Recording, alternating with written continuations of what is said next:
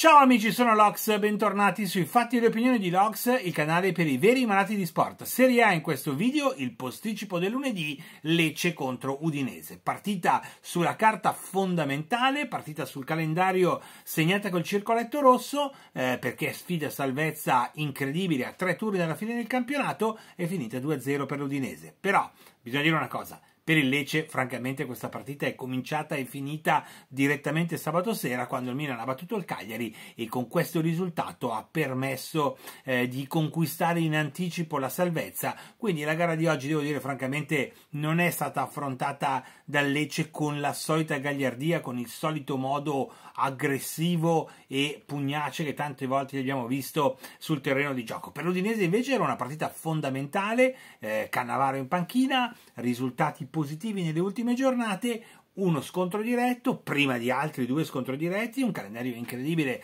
per l'Udinese nelle ultime giornate. Devo dire che i primi minuti di gioco però erano stati piuttosto strani perché comunque l'Udinese non sembrava la squadra eh, lì venuta a Lecce per portare a casa punti fondamentali per la salvezza, giocava molto spaesata, molto lenta, il Lecce anche senza strafare eh, riusciva ad creare qualche occasione anche pericolosa. Purtroppo anche in questo caso una squalifica ci ha tolto il privilegio e la possibilità di vedere il gran bel calcio col 4-4-2 perché stavolta era squalificato Piccoli, è partito davanti solo Kristovic, io ragazzi continuo a pensare che per questo Lecce, il Lecce di quest'anno, il Lecce di questa finale della stagione il modulo perfetto, il modulo corretto è il 4-4-2. Io sarei partito francamente con Pierotti dall'inizio a cercare di mettere in difficoltà questa difesa udinese nel quale è stato fantastico Neven Perez che è stato il giocatore probabilmente che ha guidato migliore in campo a mio avviso ed è stato il giocatore anche che probabilmente ha guidato la formazione di Cannavaro a prendere un po' più di coraggio un paio di salvataggi decisivi nel corso del primo tempo quando c'era stata qualche azione comunque pericolosa da parte del Lecce. Poi l'Udinese piano piano ha cominciato a prendere un po' in mano il centrocampo grande Wallace ottimo Samarzic davanti bene Sasses Sasses ha fatto una stazione un'azione spettacolare con un tiro finito fuori di poco, sarebbe stato a mio avviso uno dei gol più belli dell'intero campionato, e poi Lucca, Lucca lo ricordavo nella stagione, eh, un paio di stagioni fa al Pisa, quando il Pisa alla fine del campionato ha perso la promozione contro il Monza, in quell'inizio di stagione col Pisa che vinceva tutte le partite, Lucca era veramente grande protagonista, l'esperienza in Olanda, ora qua l'Udinese, l'ho visto abbastanza, sempre un po' svogliato, questo è un lato probabilmente del suo modo di giocare che sarà difficile cambiare, però al di là di quello l'ho visto comunque eh, sapere essere decisivo ed è lui a trovare il gol dell'1-0 con un gran colpo di testa su un centro di Pagero e Bas- Baschirotto un po' lento nell'andare a chiudere. Eh, Udinese peraltro vi racconto un aneddoto personale che è la mia squadra del cuore, eh, ero innamorato dell'Udinese negli anni 80 quando andavo a scuola, ricordo l'Udinese dell'82-83, io avevo 10-11 anni e questa formazione che ha preggiato 20 partite su 30 giornate di campionato mi aveva assolutamente affascinato con Edigno, il grandissimo Nazareth Figlio Edigno come difensore dietro come libero, come si usava una volta, e Ive Kasuriaz, un giocatore croato, jugoslavo ai tempi, che era veramente molto molto valido. Ero andato a vedere anche a San Siro una partita contro l'Inter con un gol di Gerolin nei primi minuti di gioco e il pareggio di Juari dopo. Ecco, poi negli anni questa passione per l'Udinese, diciamo, quando sono cambiate un po' le cose, che la proprietà e tutto il resto, eh, si è persa, però rimane una squadra e vederli con questa maglietta che era la stessa che mettevano o molto simile a quella che si metteva in quegli anni gloriosi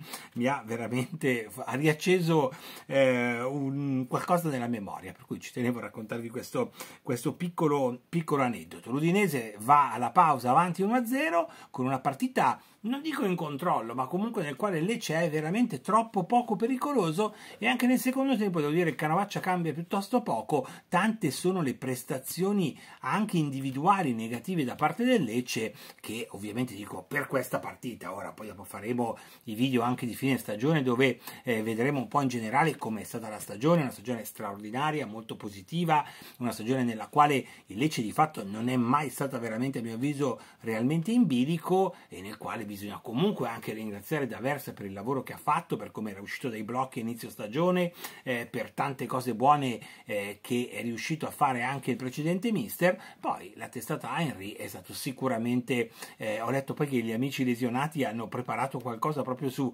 questo momento storico, devo ancora vederlo, analizzarlo, ma sarà sicuramente molto piacevole e interessante come sempre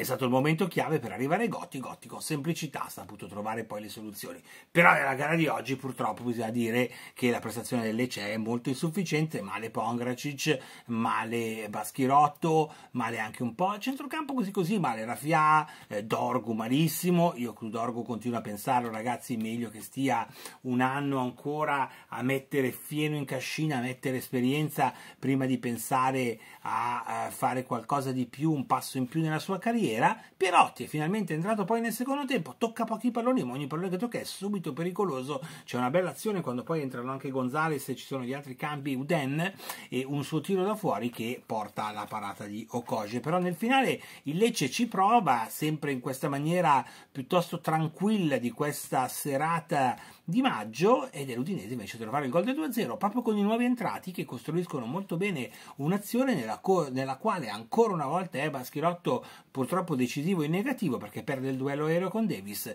c'è una bella parata del portiere Falcone e poi è Samarzic che in mezzo delle statuine è il più rapido a mettere il pallone in rete. Finisce così, finisce 2-0 il Lecce è a 37 punti e se la vedrà in casa con l'Atalanta nel weekend in quella che sì può essere veramente la festa e deve esserlo. E mi aspetto anche una partita diversa, spero anche eh, che verrà giocata con il modulo più adatto per questo Lecce e spero di vedere qualcuno spettacolo complessivamente diciamo un po' migliore e dal punto di vista tecnico, l'Udinese invece che sale a 33 punti e in questo momento sarebbe salva, ha la chance di ehm, implementare ancora di più questo momento positivo giocando in casa contro l'Empoli in quello che sarà un'altra grande sfida salvezza. Veniamo alle pagelle, intanto ragazzi vi ricordo la broma del cuore, grazie per chi lo sta acquistando e mi manda i messaggi, le foto con il libro, 36 poesie d'amore, il regalo ideale, anche stata la festa della mamma, poteva essere il regalo, magari fate in tempo ancora a recuperare, a regalare il mio libro di poesie, vi ringrazio di cuore. Veniamo alle pagelle di questa gara, 6 e mezzo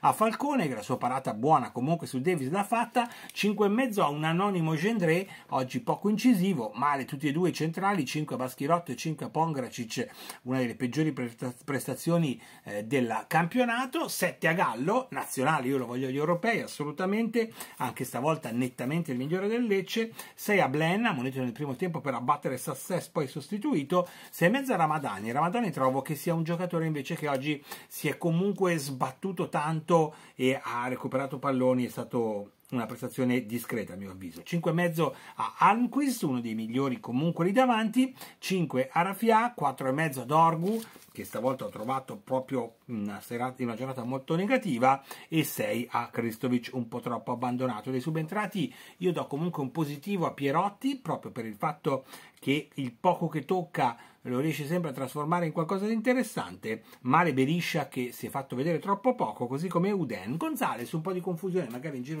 per il campo, è riuscito però a farla. 5,5 a Gotti, ripeto, vale quello che vale. L'importante è la salvezza. Complimenti anche stavolta a Lecce, squadra fantastica. Sono veramente felice eh, di questa salvezza ancora raggiunta.